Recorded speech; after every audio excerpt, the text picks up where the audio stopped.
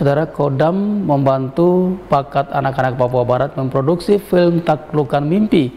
Cukup dibanggakan karena keberhasilan pemerintah dan masyarakat melaksanakan tugas yang diemban. Simpione, eh, babina, simpione. Dalam kondisi keterbatasan, film karya anak bangsa ini bisa membantu masyarakat dengan karya terbesar yang diangkat dari sisi seni wilayah Papua Barat ini bisa menjadi kebanggaan Papua Barat secara keseluruhan.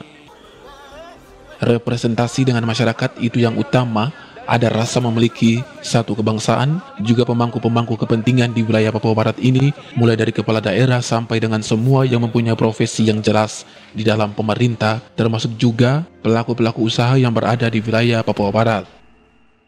Film karya anak bangsa ini akan diputarkan selama dua hari, dan 2000 tiket secara gratis akan disiapkan. Anggrini Sumbung, Jawam Channel. Pemimpin kapan?